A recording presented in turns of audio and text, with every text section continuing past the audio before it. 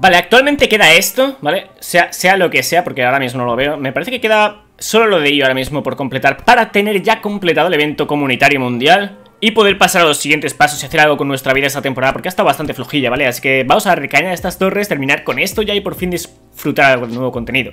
Al margen de eso, Hoy vamos a recordar el primer enfrentamiento que tuvimos con Winter, ¿vale? Que es en la cripta de hierro en Destiny 1 para los que nunca lo hayáis visto vais a flipar bastante porque creo que es de las mejores misiones de historia, más curradas en todos los sentidos, a nivel de historia, a nivel de los visuales, ¿vale? Los gráficos y las demás cosillas, los demás detalles que decidieron añadir por añadir, simplemente por hacerlo más guay todo. También las mecánicas de combates totalmente únicas para esa misión, al menos el enfrentamiento final. Los jefes finales también son únicos, uno de ellos por cierto es Winter Y hey, creo que os va a molar un huevo sobre todo a los que no lo hayáis visto, así que, eh, a disfrutar. Cuando los simbiontes empezaron a usar la SIVA en sus sistemas, crearon una gran red para controlarla.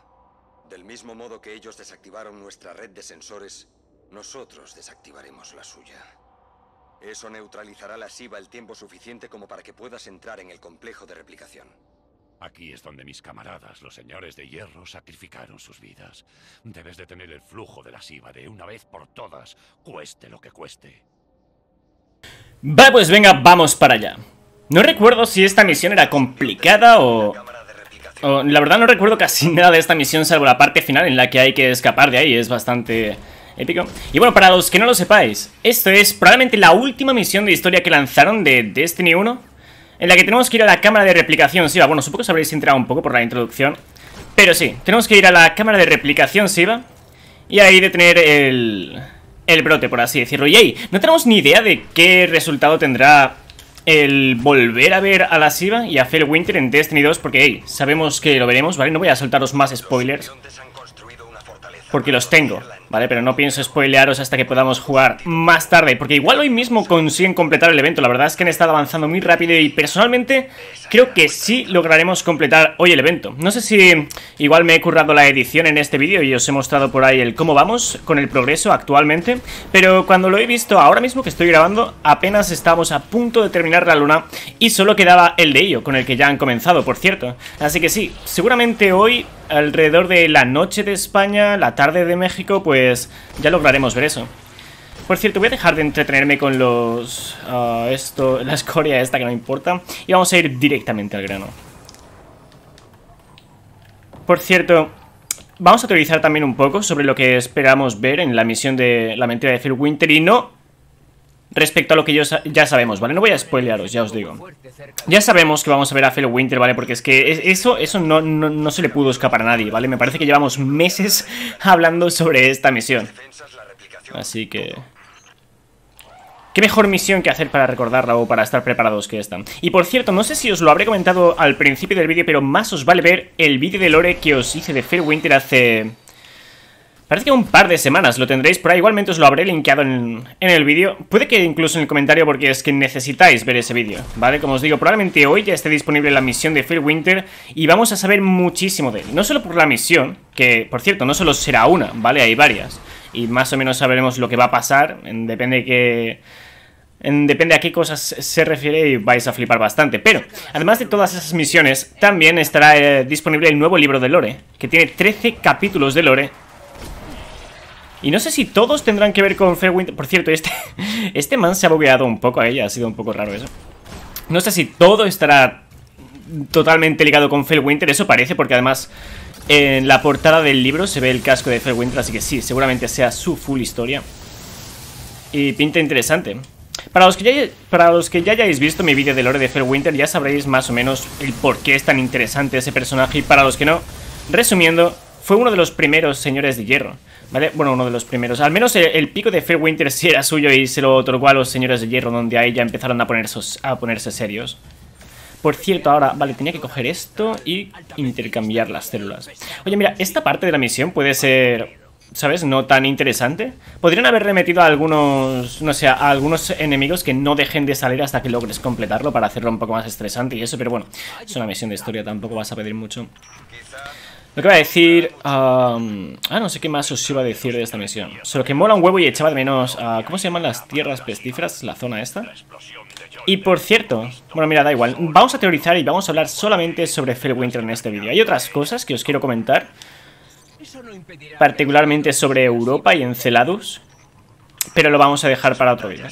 Europa y Enceladus, ¿vale? Y eso es lo único que os voy a spoilear del próximo vídeo. Que querría hacer, la verdad no sé si voy a tener tiempo, ¿vale? Porque se vienen cosas, ¿vale? Pero lo intentaré. Oh, Dios mío, qué recuerdos cuando salió esto y...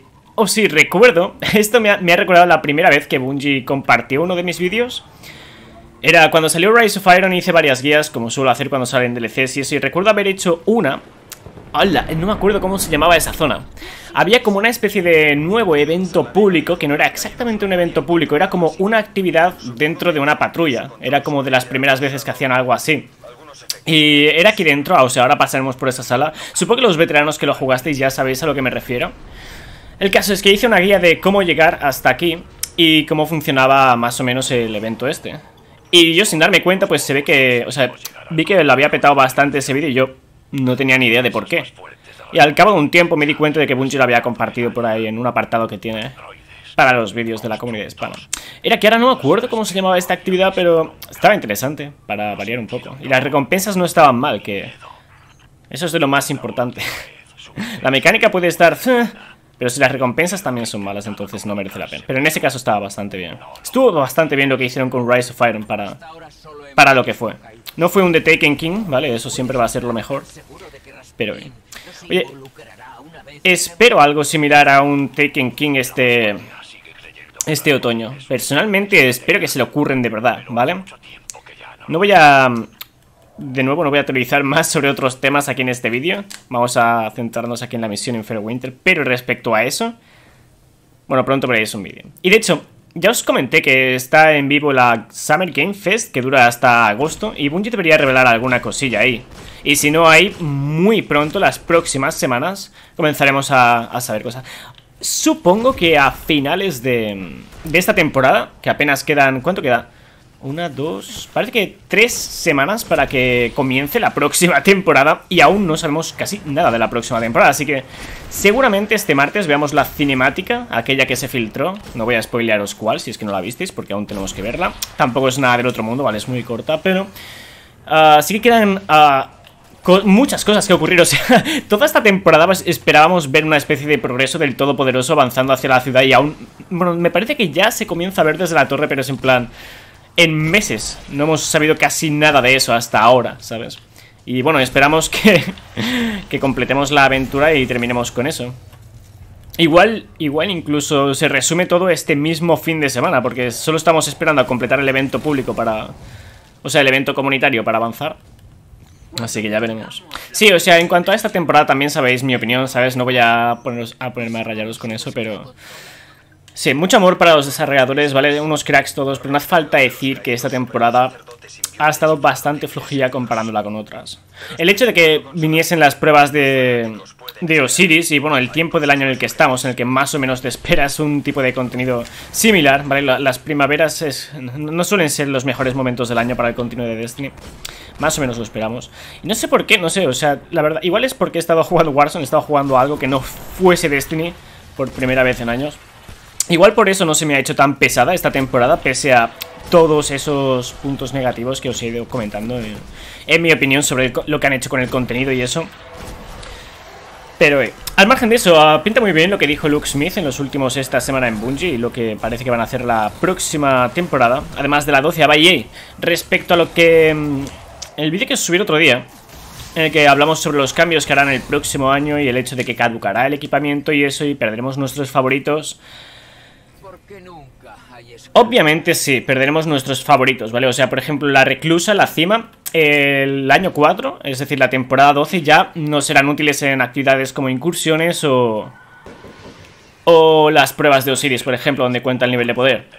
Pero eso dará lugar a otras reclusas y a otras cimas, por así decirlo. Es decir, actualmente para mejorar, ah, bueno, para adquirir mejor equipamiento, para que un arma nos llame más la atención que otra arma de su clase, tiene que estar más chetada. Y si siempre tiene, o sea, siempre es así, siempre necesitamos algo más chetado para avanzar y querer otro arma que no sea la misma, eh, terminamos llegando a... Como, ahora no me viene una palabra exacta, es Básicamente saturamos el contenido, ¿vale? Y aumentamos tanto el time to kill, el tiempo para matar, que termina convirtiéndose en un Call of Duty, ¿vale? Y no puede ser, o sea, creo que es era más que necesario esto que están haciendo y no sé por qué no lo han hecho antes. Una de las cosas que eh, se me han ocurrido para pensar, oye, ¿por qué no han hecho esto antes?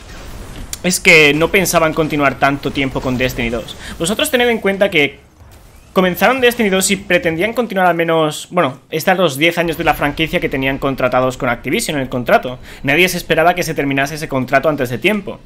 Así que probablemente pretendían igual lanzar Destiny 3 Puede que incluso el año pasado, puede que incluso este septiembre anterior fuese cuando querían lanzar el Destiny 3, pero debido a lo de Activision pues no pudo ser, así que quién sabe. Muchas, muchas cosas cambiaron desde entonces. Y hay gente teorizando por ahí que puede incluso que veamos las armas de Destiny 3, las que tenían pensadas para entonces, ahora, en esta próxima expansión del, de año 4. Y no sería raro, ¿vale? No es la primera, o sea, no sería la primera vez que hacen algo así, ¿vale? La primera vez que trabajan en un contenido y lo terminan lanzando de otra forma totalmente distinta a la que tenían pensado originalmente. Y hey, ¿veis este man? Este man es Phil Winter, al menos lo que queda de él. Está bastante, está, bastante nice este final, o sea, la verdad es de mis misiones de historia favoritas. En cuanto a dificultad, quizá, quizá no sea lo más complicado, pero... Al igual no. O sea, me parece que todo lo que estáis viendo estáis flipando bastante. Yo estoy aquí jugando aquí un poco del chill con vosotros, comentándoos algunos temitas de la temporada de Phil Winter y eso, pero... La misión en sí, la verdad es que es impresionante. Además, tiene, tiene su propia arma, tiene sus propios jefes sus propias zonas. Es todo muy original y muy único. Y, la banda sonora, yo ahora mismo no estoy escuchando la música, la banda sonora, pero hey, Destiny siempre la clava en eso. Vale, a ver, espérate. Quiero recordar que en verdad este hacha está chetada y no necesito más que esto. Pero me parece que sigue siendo complicado, así que no me lo voy a jugar aquí. Ahora bajan los otros dos de golpe, por cierto. ¿Era Felwinter el que me he cargado o a quién me he cargado? Porque son como tres señores de hierro estos. Por cierto, no tengo ni idea de si el, el que nos enfrentemos... Ah, bueno, perdón, perdón. El que veamos en Destiny 2 va a ser similar a estos o va a ser distinto. No tengo ni idea de lo que vamos a ver. Por eso estoy bastante hypeado porque terminemos el evento ya de una vez. Y a ver qué, tienen preparados para nosotros. Vale, espérate. Creo que voy a hacer así. Así es. Mejor. Ahí tenemos a Gillion. ¿Y quién es el otro man? A Holder. Aparentemente Felwinter es el primero que nos hemos cargado en 0, pobrecillo. Bueno, rest in peace Felwinter, nos vemos más tarde cuando completen la aventura.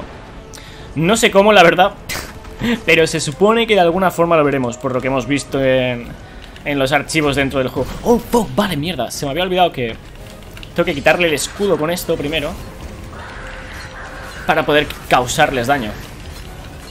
No sé si... Ay, por cierto, tiene una mecánica bastante interesante este hacha también que es que para cargar la munición tienes que acercarte a... A... Los, no sé muy bien cómo llamarlo, a las hogueras estas, ¿vale? Es muy interesante que tenga una, una mecánica tan única Solo este último encuentro de, de una misión Probablemente sea uno de los encuentros más únicos en misiones de historia, si no el que más, no lo sé, o sea, ya me deis vosotros vuestras opiniones en los comentarios, pero yo solo la iba a hacer por recordar un poco nuestro primer enfrentamiento con Fairwinter, al margen de eso, sí, creo que es de las mejores misiones que han hecho nunca. Recuerdo, de hecho, eh, escuchar en una entrevista eh, más o menos el proceso creativo en esta para esta misión y eso, y la verdad, mm, no sé, se le ocurraron muchísimo todo. Y la banda sonora, como os digo, también es muy clave, muy key en todo esto, solo que seguramente no estéis escuchándola tan alto. Como si la jugarais vosotros solos. Oye, a ver, ¿ahora qué vainas tenía que hacer? Me parece que escapar y ya está. Vale, ahí estamos.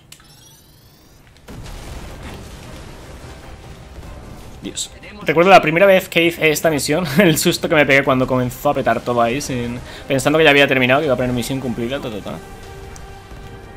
Y por cierto, en esta parte te pueden llegar a matar, ¿eh? O sea... Vosotros me veis así jugar un poco tranquilo del chill y eso, pero no era tontería. Claro que, bueno, eso soy yo porque siempre juego solo, ¿vale? si vas con otro par de guardianes, pues seguramente no tengas tanto problema. Me parece que estas puertas se cierran. Sí, Sí, así que... ¡Hostia, Dios! ¿Qué cojones? No me esperaba que ocurriese eso para nada. Vale, pues ahí os quedáis, chavalos. Yo me piro por aquí. Y ahí estamos. Se me había olvidado cuando nos llamaban así, cría de lobo. Uy, espera, no sé si llegaremos a ver la cinemática ahora. Me parece que no, pero hey, también era muy, muy key Igual si la encuentro por ahí os la pongo. Pero hey, hayamos recordado la primera vez que nos enfrentamos a Winter y veremos si hoy logramos completar ya el evento público y verlo en Destiny 2 por fin, ¿vale? Además de adquirir la mentira de Winter y a saber qué más ocurre. Seguramente entrelace algo esta y la próxima temporada, así que atentos más tarde a Destiny 2, ¿vale? Espero que os haya gustado esta misión, hayáis pasado bien conmigo. Ya estaba desmontando todo el chiringuito pensando que había acabado y salgo de la misión y salta la cinemática. Pensé que no iba a salir al final, pero sí. Así que ahí la tenemos, vamos a reaccionar real quick a ella. Oh, Dios, te recuerdo... incluso en el pico de Phil Winter en sí, solo en la zona social habían como varios easter eggs, el de subir arriba del pico, que era probablemente de los mejores desafíos de parkour que ha habido en Destiny. Y luego también había un easter egg aquí, no recuerdo qué era exactamente, era como que tenías que activar ciertas campanas en orden ah, para que sonara algo y, creo que te daba un triunfo, no sé si te daba algo más, creo que es un triunfo. Y ahí era cuando nos otorgaban la espada. En el pasado, solo los señores de Probablemente una de las más inútiles, ¿vale? Las otras tres exóticas seguramente eran mejores, independientemente de esta. Pero esta es nueva. Es tuya, cría. Soy yo, Saladin se ve más viejo aquí en Destiny 1 que en Destiny 2. Generación de señores de hierro. Y ahí es cuando nos... Ah, no me viene la palabra ahora. Cuando nos empezaron a llamar cría de lobo.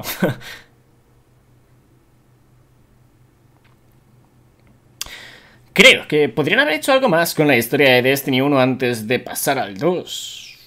O sea, esta probablemente fue la última cinemática que vimos en todo Destiny, eh, Destiny 1, si no, me, si no recuerdo mal. O sea, seguramente algún otro comentario por la torre y eso, pero creo que tendrían que haber hecho alguna otra cosa. Eso sí, se lo curraron con lo de las incursiones, las nuevas armaduras y todo lo que hicieron. Eso fue...